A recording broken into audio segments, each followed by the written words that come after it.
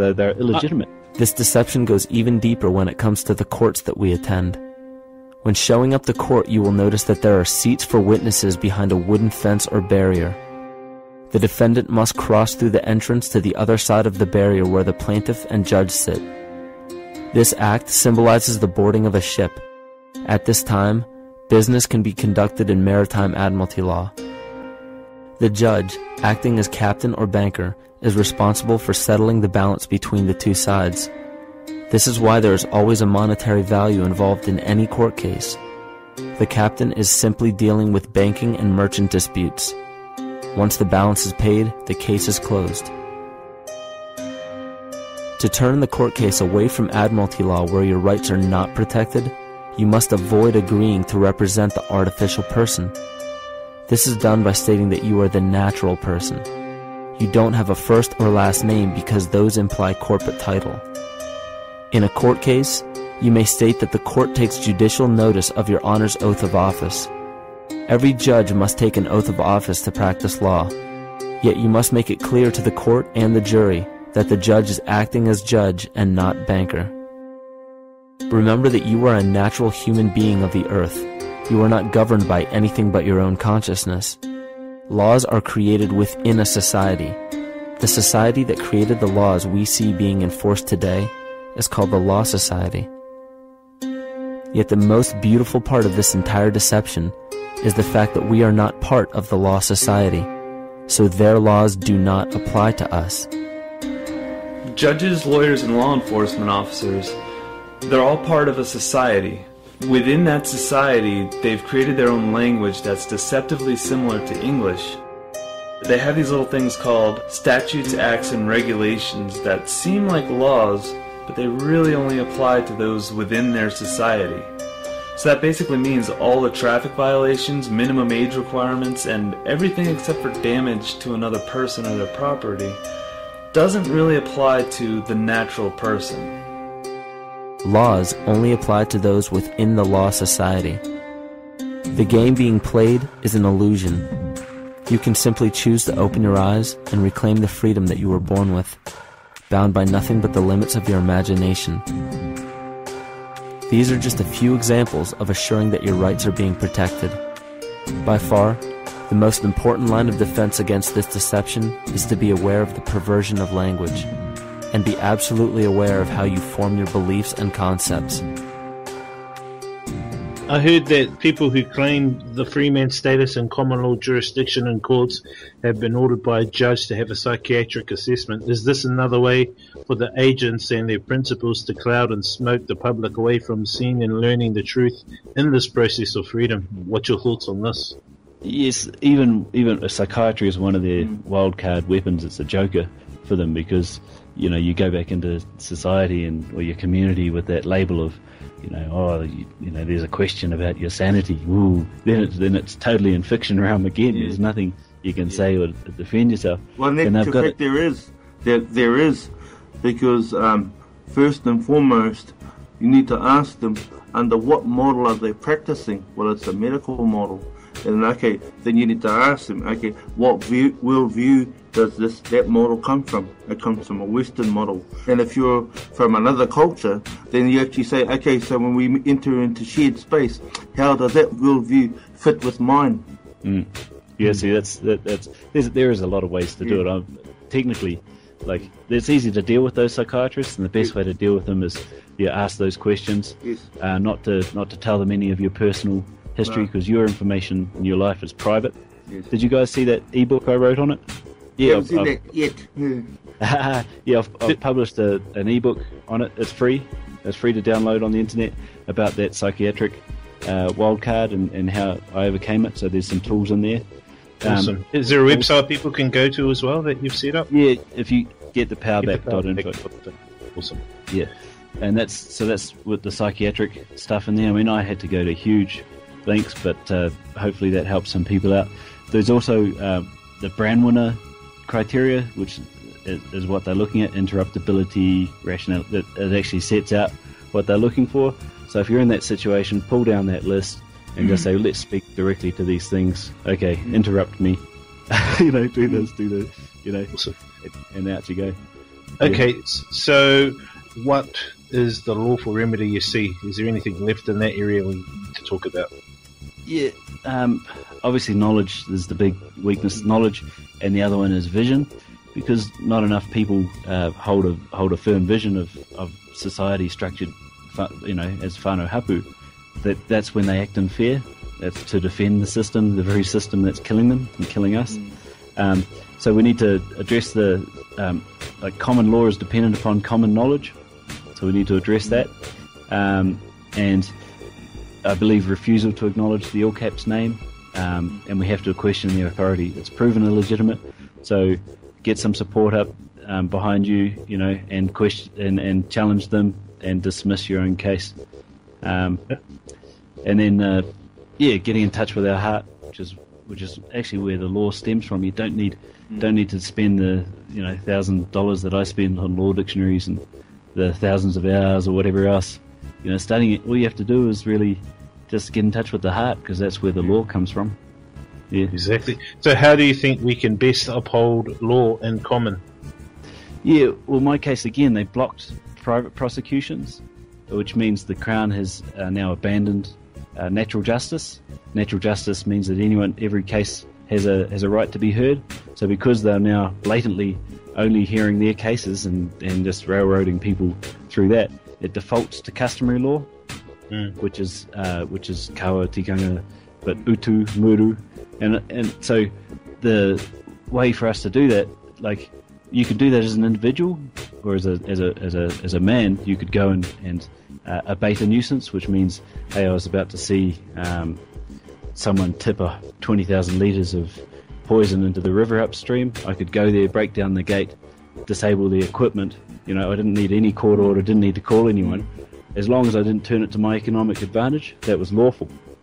Okay, the problem with that is, hey, I'm, I'm out there by myself and I'm going to get you know, slammed, right, by the system.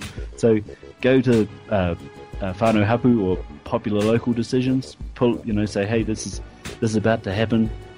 There's poison that's about to be put put upstream, or GE that's being planted in our neighbourhood, or let's take a preventative step and agree that we don't want GE to come in here, and you do that, and then when when when individuals see the threats come in, or someone planting GE, whoever can go in there and abate the nuisance, which is remove the threat, uh, remove it from happening, and they're protected by the community. Now, if you remember that the, um, the their law is, is based on, um, or their legal limits, just based on community perceptions. If you've already got the community buy-in for this, it's legal, it's lawful, you're covered. Excellent. So, what are our biggest threats to security? you know, I had a particularly rough time with Crown loyal immigrants, you know, and uh, uh, they're nasty in that, in that mindset. Yes, they're of our family. We need to reach them and say, hey, mate, you, you, you're part of the human family here and you're being a bit of a human lemming, you know, saying there's Yeah, no we're rights. robots. Yeah, exactly. You know, and it's your choice if you want to jump off that cliff with no human rights and you know prejudicial, you know everything else. But don't go dragging. Don't expect me to come with you, and so let go of me. You know, let go of let go of those around you, or come back to us. So Crown immigrants, you know, we're being flooded with Crown immigrants right now, and and uh, we need to actually find a way to protect our communities, our whānau hapu, from that. There's a way to do that with community currencies. You know, if they set up their own currency and someone that was moving into the area had to have some of that currency, then they'd have to trade with someone in that area. That's a good way to do um, local uh, immigration control. Or you, you've set your local local uh, laws and you and you notify everyone that comes in. You say this is the way that we work here. You know, it's tikanga, it's common law. You don't come in here and think that you can do a job stomping on people day in day out, like the registrar at Kaitaia there, who you know docu- doctored my documents and all of that kind of stuff, and don't think you can do that nine to five, and then come back to our community and uh, and and think that you can make an economic gain because we'll find a way for the economic gain that you have misappropriated to go to those whānau that you've affected, you know. And the other one is food security. We we have a huge opportunity, our biggest opportunity in in our lands to follow through with our or follow up on our nuclear free with uh, GE free, and it's really under threat right now. The government's uh, well, the crown is pushing these trials and, and no labeling and all of this kind of stuff. And once it's out of the bag, that's it. You know, like it's done. We, we've lost it. We're, so we and and because because they're pushing it, it's not. This is not an election issue. This is something that is now it defaults to uh, whānau hapu community action to block the entry and remove any GE that's come that's come into that environment. So that's a huge threat. You know, we know that there's intellectual property stuff to do with it, Terminator seeds, human health. Yes, Monsanto. Monsanto, Right. Yes. Yep, yep. Um, environmental. Uh, Kennedy. yeah, oh, mate. Again, it's sad to have to say this, but our ancestors, our tupuna, worked this out long a long time ago. You, you, it's better to um, to defend your rights than to try and right the wrong. you know, that's why we'd stand up in, in front and, and you know, hey, are you a foe or an, an enemy? You come in peace or not? If you don't come in peace, we fight straight away. Yeah. you know, so we actually need to, up in pieces.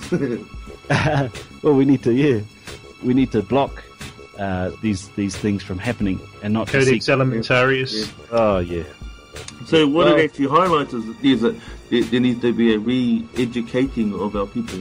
Or educating the crap that's been educated into them out of them.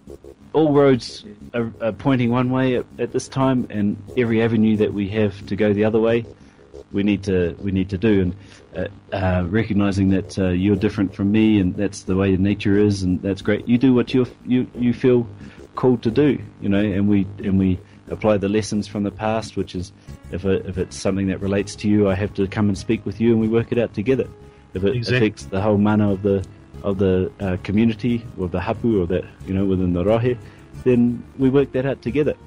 And It's about working together in shared space, collaborating, eh? yeah, it is, and and at the same time, there are the warriors amongst us, and uh, and and those people that will feel feel called to go and uh, like the Scion um, uh, GE tree trial in Rotorua. Someone went un- climbed under the fence, grabbed a, a spade, and and um, killed some of the trees. Right, that's a that's an act of a warrior, and and we need those in society. We actually do need those because while we're waiting for the people to um, to realise that we can work things out locally, you know, especially while we've got all these cra- people that think that they're crown immigrants, not part of the human family, you know, uh, we need those warriors, those people that uh, that will take the initiative. And uh, and will protect our future generations and even our own skins. I mean, I don't want to be eating uh, this GE food that you know kills my mind and you know whatever exactly. else. So, what solutions do you have in mind? Well, I've come up with one that I believe uh, touches on all of those things. It's it's creating a living food bank, which Right. people will be able to uh, join either as a uh, someone that takes some of their money from the bank, which is going to steal it anyway, and is depreciating by the day, and puts it into a living food bank through this network. And what it does is it, it, they- can say, well, it's got to be GE free, it's got to be um, organic, right? Let's say those two things, and um, and it's set at the food at the, today's prices of food. So this uh, network, the Living Food Bank, will group that money and then offer it to communities. Will say hold it out as a carrot and say, look, if you can get organised as a community and um, and agree that you're going to be GE free and agree that you're going to be organic and say that you can you can grow this food, we're going to give you this money right? It's like pre-buying the potatoes, right?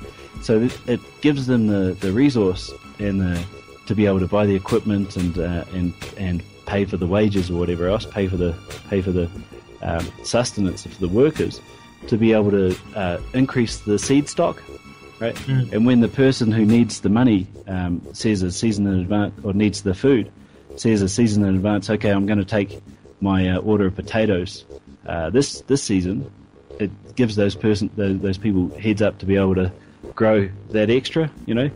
So Right. instead of just having these seed banks that are like, you know, try and keep the seeds good and you know just enough for me and whatever else, and instead of driving down these communities and seeing all these, you know, small square rectangular fenced off, unutilized, beautiful pieces of land with soil and water, you know, well, you could we can transcend that crown title system and, and give people the the real um, the the pathway to this whānau hapu collective existence.